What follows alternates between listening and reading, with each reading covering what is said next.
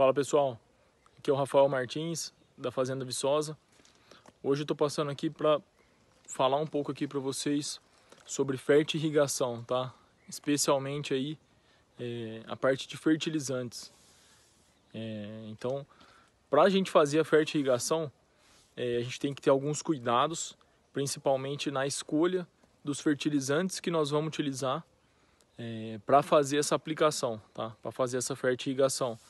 A gente não pode escolher qualquer fertilizante é, e existem alguns cuidados na hora da gente formar essa solução é, para fazer essa aplicação no nosso sistema.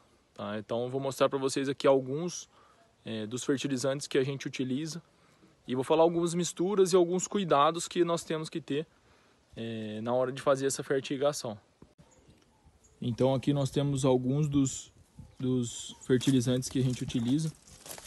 É, aqui a ureia, um bem comum, é, muito utilizado. Tá? Depois eu vou falar algumas vantagens e desvantagens de cada um. Nitrato de cálcio. Aqui a gente tem o MAP purificado. Cloreto de potássio. O branco, tá? Não é o cloreto de potássio o vermelho. Então, você pode ver aqui, ó é, a granulometria dele. Tá, ele é bem pó, ele é bem solúvel. E aqui eu coloquei só um micro, mas existem muitas opções para a gente trabalhar. Aqui é o ferro quelatado. A gente utiliza bastante no, no tomate grape, aqui na, nas estufas. E aqui o fertilizante comum, tá? Esse fertilizante aqui é um 4148. E... Só que esse daqui, no caso, nós não podemos estar utilizando para fazer a fertirrigação, tá? Então, para fazer essa escolha, o que, que o fertilizante ele precisa ser necessariamente? Isso daqui, ó, solúvel, tá? Então, ele precisa ser solúvel, ou seja, diluir em água, tá? Então, cada um desses aqui a gente tem o NPK, nitrogênio, fósforo, potássio, que são os macronutrientes mais comuns. E eles precisam ser solúveis. Nesse caso do fertilizante comum, 4,14,8, 8,28,16, 20,020, 25,20, existem N formulações, mas eles não podem ser utilizados para fertigação porque eles não são solúveis, tá? Eles são de liberação lenta, tá? A granulometria deles, a composição, a matéria-prima impossibilitam eles de serem utilizados na fertirrigação. E nós temos aí inúmeras vantagens de se fazer a fertirrigação. Então, a gente tem um melhor aproveitamento desses insumos, principalmente quando a gente fala do nitrogênio, no caso da ureia. Tá? A ureia é um, um fertilizante aí muito volátil. Então, o que, que acontece? Quando a gente faz a aplicação a lanço, se a gente não tiver uma chuva ou uma umidade boa no solo, a gente acaba perdendo grande parte desse nutriente, porque ele volatiliza. A volatilização é como se fosse uma evaporação. Então ele, ao invés de descer para o solo, ele vai subir. Tá? E nós vamos perder esse nitrogênio. Então fazendo a fertirrigação, o aproveitamento desse nutriente ele é bem maior. Tá? Então isso é uma das vantagens. A gente consegue fazer o fracionamento, tá? a gente consegue aplicar as doses de cada nutriente de acordo com a necessidade da planta naquele, naquela determinada fase. Então, por exemplo, na fase inicial da minha cultura, é, eu tenho uma demanda maior por nitrogênio. Então, eu vou subir mais a dose desse nutriente e diminuir a dose de potássio, por exemplo. É, na fase inicial também a gente a planta precisa mais de fósforo, tá? Principalmente aí para a questão de enraizamento, de desenvolvimento do sistema radicular.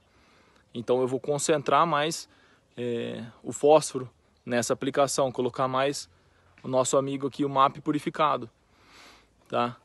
Então chega na fase de enchimento de grão, é, mais a fase aí final da cultura, de uma cultura anual, ou que seja aqui do tomatinho que está em produção, eu preciso aumentar bastante o, o, a concentração de potássio.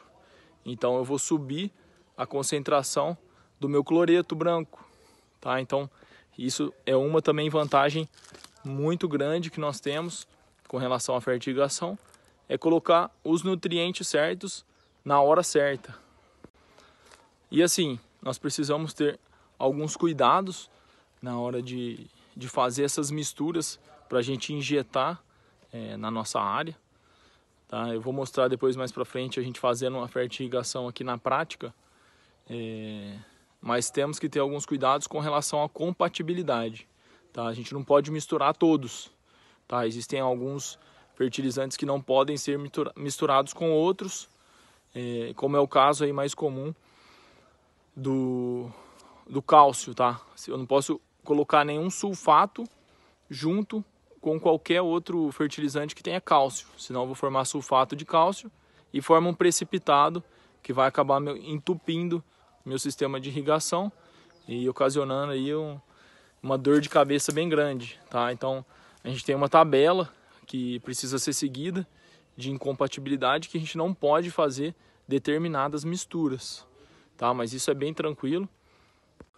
Um outro cuidado também que nós temos que ter é com relação à solubilidade, tá? Então, é, cada fonte de nutriente tem uma solubilidade diferente.